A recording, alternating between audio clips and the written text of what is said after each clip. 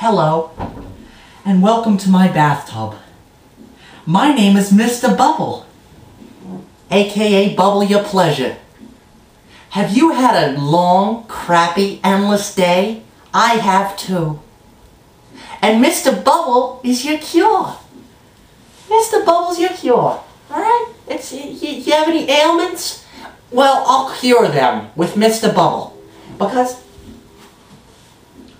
because when I'm in your bathtub, there's gonna be a party. There's gonna be a party. And guess what? I'll bring the beer, okay?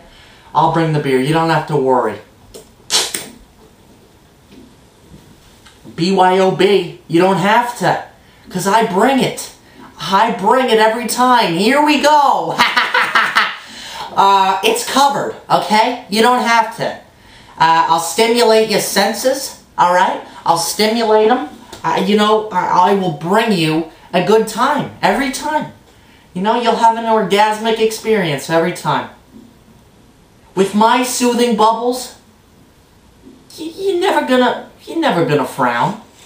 Remember that when you got me, Mr. Bubble, your troublesome times will soon be rainbows and butterflies, okay? Your dark, dark, darkest times